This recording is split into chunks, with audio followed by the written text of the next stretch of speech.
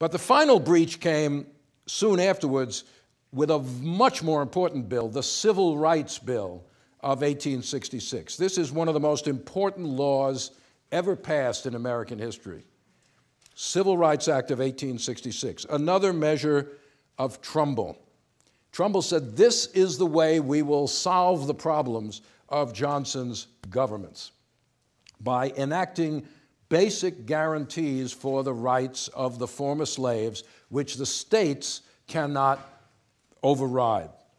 Um, so, what does the Freedmen's, what does the Civil Rights Bill say? First of all, it one might say that in some legal sense, the purpose of this bill is to overturn the Dred Scott decision and the Black Codes.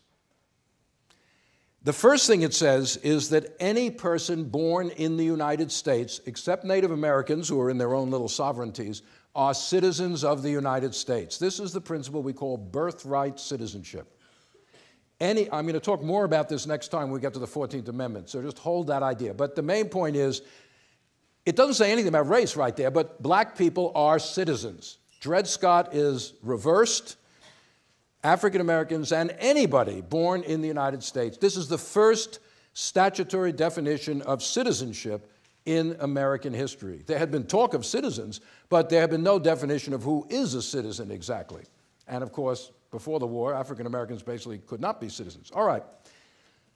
We have all these citizens. What rights do they have? Well, all these citizens must enjoy equality in certain rights. What are the rights? They are the rights of free labor, owning property, signing contracts, having access to courts, suing, testifying, being sued, protection of their persons, doesn't mention the right to vote at all. This is the rights of economic activity in the marketplace. Now, interest, the language is very interesting. It does not quite say equal rights. What it says is all citizens must enjoy these rights in a way equal to those of white persons. That's a very interesting language, uh, use of language, equal to those of white persons. Before the war, the word white was used in legislation as a barrier, as a boundary.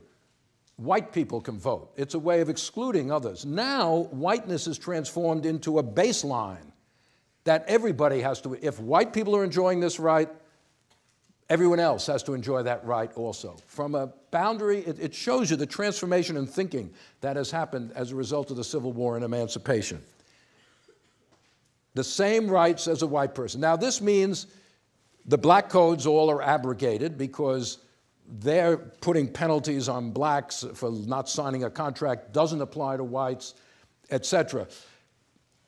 Who is responsible for this?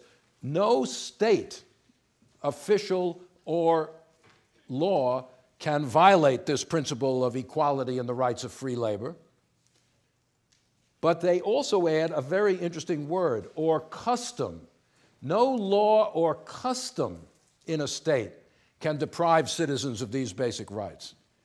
We will talk next time about this principle of state action, which is embedded in the 14th Amendment. But the Civil Rights Bill goes beyond state action, goes beyond the actions of states to customs, which are obviously actions of individuals. Now, they don't define that, but it opens the door to abrogating certain practices which may discriminate, even though they're not grounded in law. How is this to be enforced? Here's a great irony of this law. They draw on a pre Civil War law which had sought, just like this, to enforce a constitutional guarantee against abrogation by states. And that previous law had explained how state officials, local officials would be punished if they violated this national constitutional principle, how um, you could sue them, individuals could go to court and sue if this constitutional right is violated. What, what law am I talking about before the Civil War? Thank you. The fugitive, this is the great irony. Trumbull says, we are taking the weapon used to defend slavery and turning it into a weapon in favor of freedom. Great irony here. The fugitive slave law becomes the basis for the enforcement provisions. And let me say this we are just in the midst right now of marking the 50th anniversary of the Civil Rights Act of 1964, which was one of the high points of the civil rights movement. But the fact is that in terms of enforcement, the Civil Rights Act of 1866 is a stronger law. It took us 98 years to get to a point where another such law could be passed, and it's weaker than what they were able to do. That shows you something about what's going on in Reconstruction. Now, one other question what gives, what provision of the Constitution gives Congress the right to tell the states what they must and must not do, to override or, by the way, this invalidates many laws in the North as well. There are plenty of discriminatory laws in the North that are abrogated by the Civil Rights Act of 1866. What provision of the Constitution gives them the right to do it? In the Fugitive Slave Law, it was the Fugitive Slave Clause. Very good. You're not right, but that's very good because that's what me- the Supreme Court will eventually, in its uh, lack of wisdom, latch on to for the Civil Rights Act of 18, uh, 1964. We'll see about that. But no, it's the 13th Amendment. 13th Amendment is now part of the Constitution. This is part of the abolition of slavery. This is the first legislative definition of what freedom is in America. You're not free if you just have the shackles broken off your leg. You are free if you can compete in the labor market. Free labor, in other words, is the definition of freedom. That's part of what the 13th Amendment is trying to implement. So they're saying that the Constitution has been changed by the 13th Amendment. It didn't just abolish chattel slavery, it, it, it opened the door to the former slaves as equal competitors in the marketplace. Nothing to do with the right to vote. No mention of the right to vote here. But nonetheless, but it, it's also, this bill, a powerful example of the nationalizing impulse that I have talked about coming out of the Civil War, right?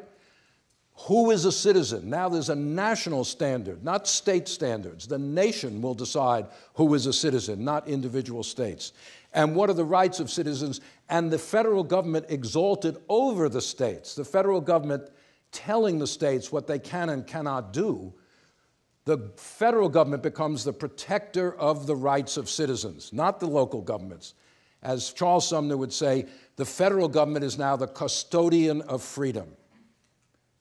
It's the states that are the danger to the rights of citizens, and the federal government must step in and make sure the states do not do that, as they have been doing through these black codes. So the Civil Rights Act of 1866 passes the Congress, and this is Johnson's opportunity, many people think.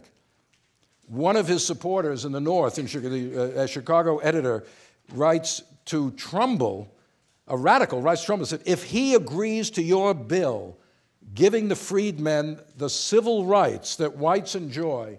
And if he halts at that and war is made upon him because he will not support Negro suffrage, he will beat everyone. If he says, okay, they can have these basic civil rights, but, if, but I'm not going to give them the right to vote, says Ray, most Northerners will say, okay.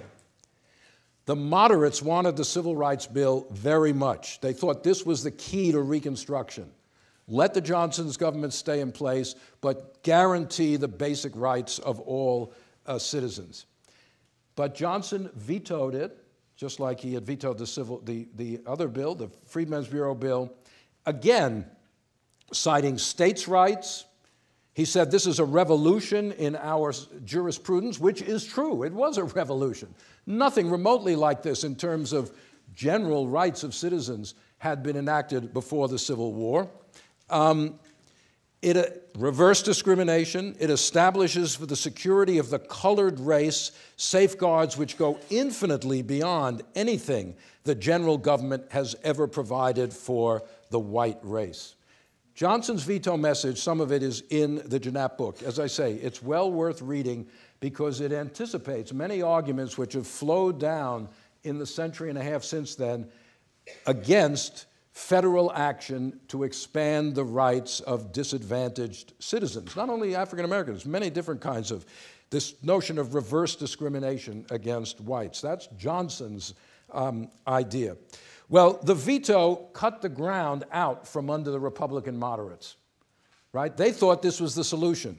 Now, Johnson is giving them basically the, the choice go with me or go with the radicals. There is no middle ground.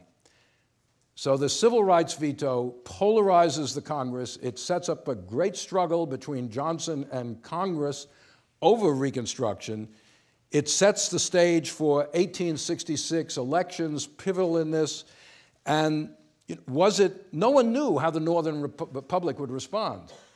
Did Johnson make a terrible mistake? Or did he choose the ground on which to fight, black suffrage, and think and assume that he would win?